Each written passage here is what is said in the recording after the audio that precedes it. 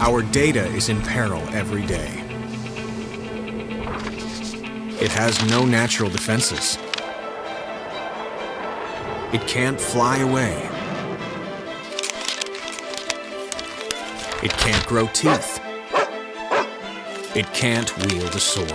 Because data can't defend itself, you need Vormetric to protect what matters where it matters.